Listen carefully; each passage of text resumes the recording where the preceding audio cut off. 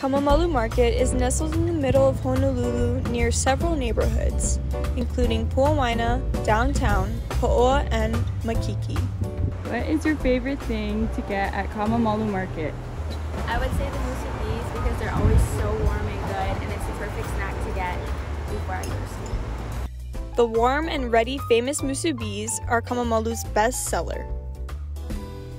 The little convenience store is packed with many interesting shopping items, including toys, household supplies, beverages, and snacks.